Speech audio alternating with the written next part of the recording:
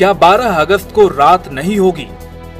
क्या 12 अगस्त की रात में भी दिन की तरह उजाला होगा? क्या 12 अगस्त से सृष्टि का उल्टा चक्र शुरू हो रहा है?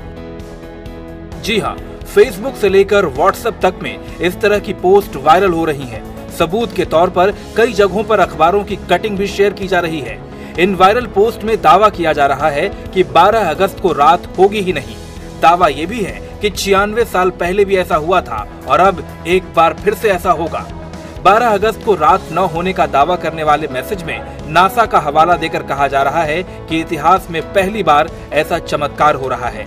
इस दिन से सृष्टि का उल्टा चक्र शुरू हो रहा है। साथ ही ये दावा भी किया जा रहा है कि जिसने भी रात में दिन जैसा ये नज़ारा देखने की कोशिश की, उसे भयंकर नुकसान होगा।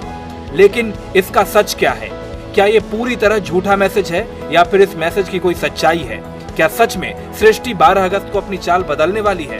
क्या सच में सूरज 12 अगस्त की शाम को ढलने से इनकार कर देगा? ध्यान से सुनिए कि आखिर 12 अगस्त की रात होगा क्या?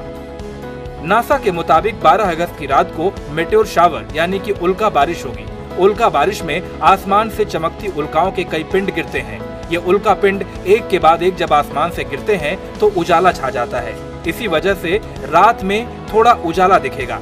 ये सच नहीं है कि 12 अगस्त को रात होगी ही नहीं, लेकिन हाँ उल्कापात की वजह से रात में थोड़ा थोड़ा उजाला होगा।